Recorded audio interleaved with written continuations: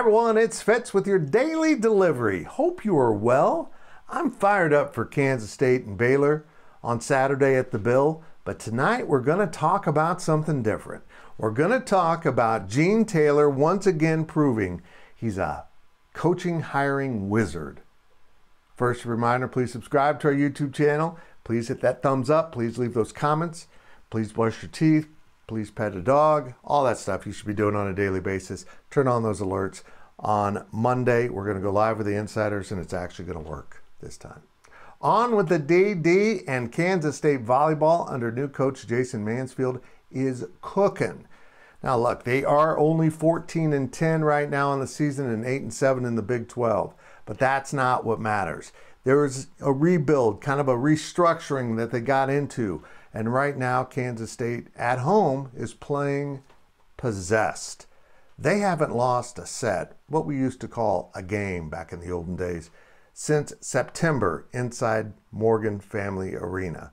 It's impressive. Their last three matches have been two against number eight BYU, and then last night, Wednesday night, they played number three Texas inside what fans are calling the morgue, but don't tell Gene Taylor that.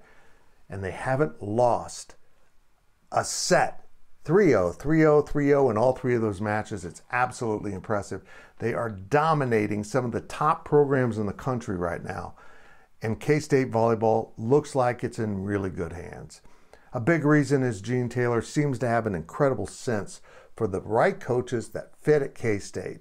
And you got to love the opportunity that Coach Mansfield embraced when he came to K State. He saw what was the potential here, but also he saw that beautiful brand new volleyball structure that raises the bar for K State volleyball. There is no reason Kansas State volleyball can't be a national power. They have invested in it. They can go get the kids, and Mansfield seems to be the coach with the coaching staff to get it done. It's really impressive right now how good they're playing. But a big reason also is the morgue is just a box. 3,000 people packed in there every night. It is loud, it's intimidating, and I don't know what they're doing to those opponents, but they are completely off their game inside that building. Look, I know why Gene Taylor doesn't want to call it the morgue, but they're burying people out back. I can tell you that. Sorry, Gene. But congratulations, Coach Mansfield. Congratulations to the volleyball team. Congratulations to Gene Taylor. Buddy, you did it again. Kansas State volleyball is in good hands and going the right direction. Only one more match this season, I believe. Maybe two more matches this season with Texas Tech. At home, if you want to see them, you got to buy tickets in advance. Every match is selling out.